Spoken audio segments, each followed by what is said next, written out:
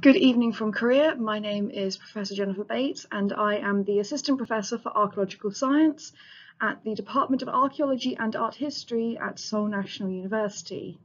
I work with macrobotanical and microbotanical remains, predominantly phytoliths.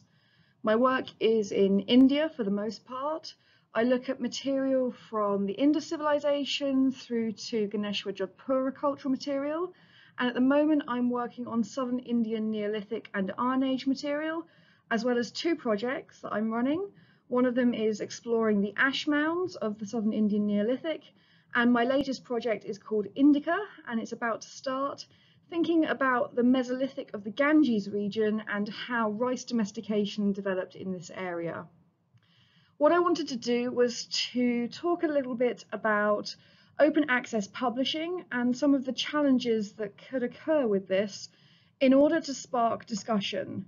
It's not so much to pose solutions, but more to suggest some areas that are positive and also some areas that might be more difficult and therefore that we might need to discuss during the workshop.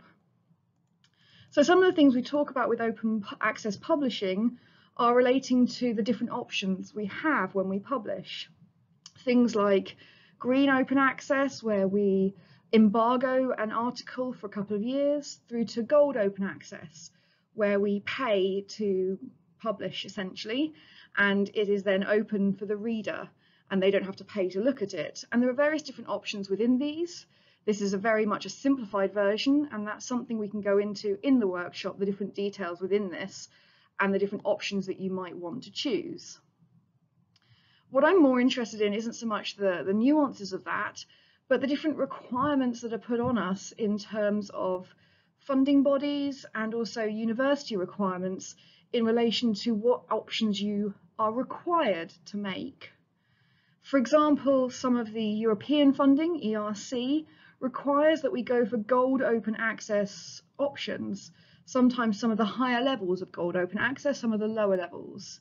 Green open access can be an option, but it, it's less so. Other times universities might require us to go for the gold open access or the green open access. But in other cases, it's not really seen as a problem. It's something that doesn't really matter. It's not factored in, and instead it's just publish.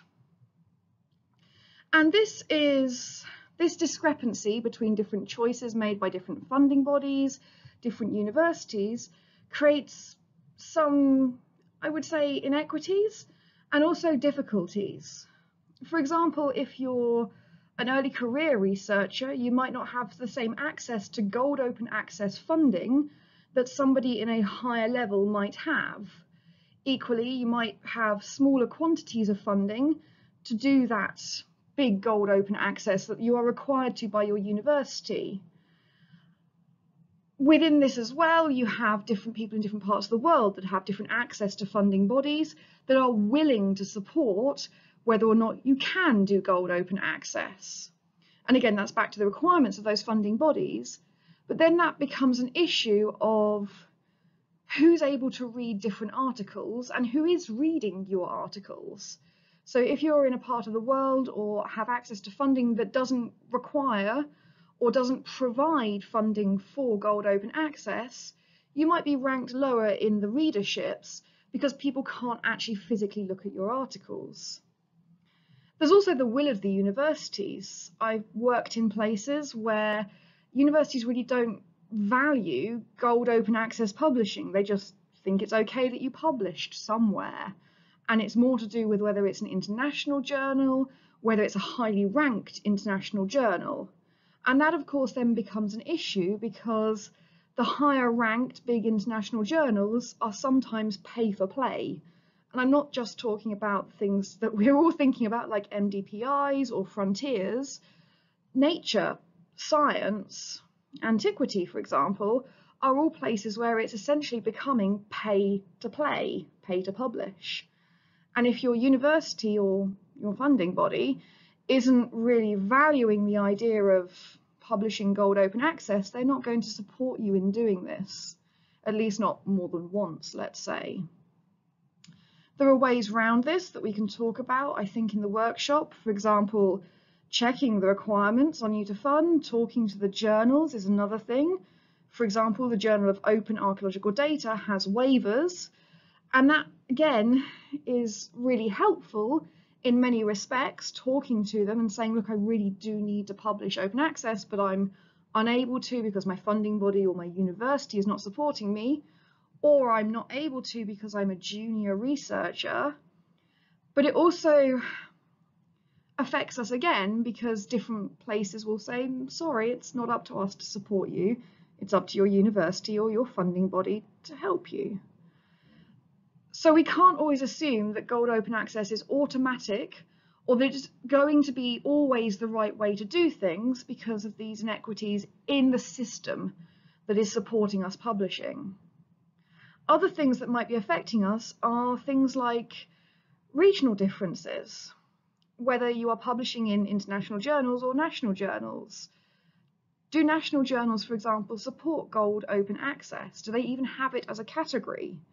And this then affects how data is disseminated beyond, say, a national border or even beyond its own readership, its circulation. That then again affects who's able to access the data and so on. Other things we might want to think about and talk about is what about our permits?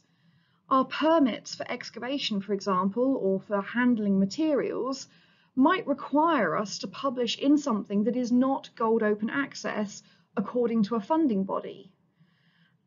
Are you working with a national or even regional system that requires publishing this article and making it available in a print format? How does this then affect us?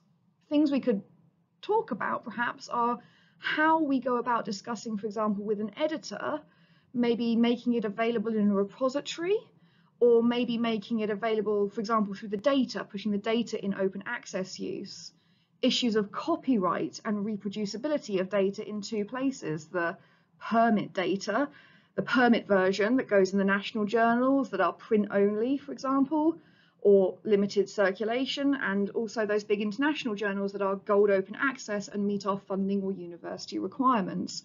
How do we handle this? How do we talk to the editors about these problems? And on the flip side, we've got people working in areas that are not served by some funding systems that might not even be able to access open access papers because they can't download the PDFs. They're still working in places where it's the print circulation that the journals, sorry, the libraries are purchasing and bringing in, and they're not able even to pay for that circulation and access those systems. Open access doesn't always mean open access. So my message really is that we need to be publishing open access, but it's not just as simple as hitting the gold open access button and paying for it. There are funding discrepancies at different hiring positions, at different universities, at different funding bodies. This has ramifications for who's able to be published, who's able to read it, and this is on a global scale, a national scale, and a regional scale. And so it raises a question, at least to my mind, and I'm happy to debate this and discuss this, about whether gold open access really is always the right thing to be doing and what we can do to make it the right thing in an equitable fashion, how we can work around this system that isn't equally available to think about things like working with print journals and online circulation, working with journals to improve the junior research access, or the regions where funding is not quite so amenable to doing this, to make it so that people can do open access in the way that, say, an ERC funding might approve, but also to think about doing it in a way that doesn't break copyright law, and also then is able to be accessed by people that maybe can't download things or that need to read it in print form.